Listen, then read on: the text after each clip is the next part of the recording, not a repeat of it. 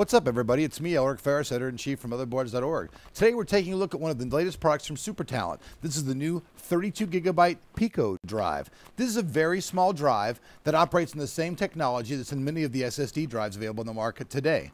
Follow along as we show you some of the finer points of this new product.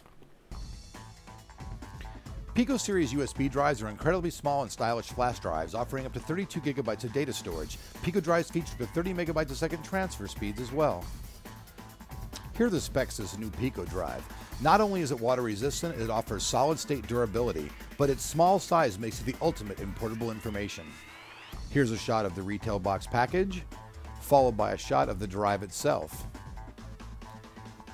Here's a comparison of the drive next to a dime.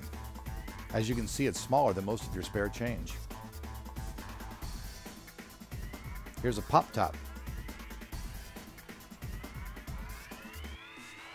Here are the read and write speed tests, and for an external USB drive, these are very fast. The new SuperTalent 32 gigabyte Pico drive is very cool for those people wanting something that's very small and compact to travel around wherever you go. This drive offers rugged, safe, reliable storage for you and is also very big for drives this size.